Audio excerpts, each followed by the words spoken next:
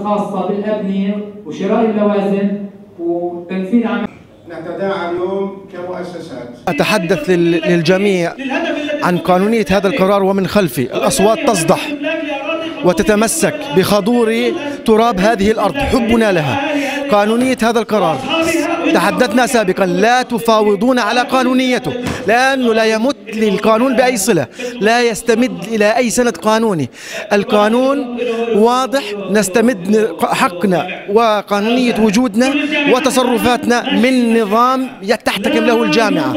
هذه الجامعة عريقة استمدت جذورها منذ مئات السنين. لا يجوز أن يتم التعامل مع الجامعة وكأنها شخص تحجر على أمواله دون علمها.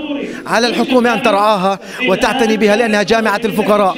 ومن هنا وعبر شاشتكم أوجه ندائي ورسالتي إلى فخامة السيد الرئيس أن يحتضن هذه الجامعة وهو الأب الحامي والراعي لمشروعنا الوطني. القرار الصادر بحق الجامعة بمصادرة حساباتها وتحويلها لحساب وزارة المالية هو قرار تعسفي مجحف وغير قانوني يتعارض مع جميع المرجعيات القانونية اللي تعمل بها الجامعة وبدءا من القانون الأساسي للسلطة وانتهاء بالنظام الأساسي للجامعات الفلسطينية الحكومية آه، رقم 4 لعام 2009 وما صدر بمقتضاه من تعليمات تحدد آه، تقرر استقلالية الجامعة وحريتها في تملك الأموال المنقولة وغير المركورة والتصرف في جميع الإجراءات من شراء و آه، من شراء ال- ال- الممتلكات واللوازم ال- اللازمة لتسيير أعمالها. نضع المجتمع الكرمي والمؤسسات طول كرم أمام مسؤولياتها.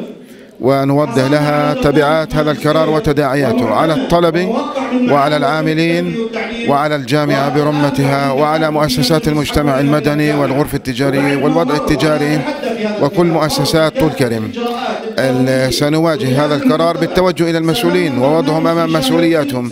سنتوجه إلى وزير التربية والتعليم العالي سنتوجه إلى رئيس الوزراء إلى الأخ الدكتور رامي حمد الله الابن البار لهذه المحافظة للعدول عن هذا القرار ولدعم هذه الجامعة للنهوض بها لتكون في مستويات جامعات الوطن بل لتكون في مستويات الجامعات العالمية.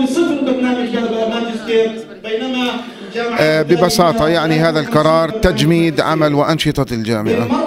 وبالنهاية وقف نموها وقف ازدهارها وفي النهاية إلى ضمورها لأنها لا تقدر أن تنافس جامعات الوطن في ظل الشح المادي وضيق الإمكانيات المادية.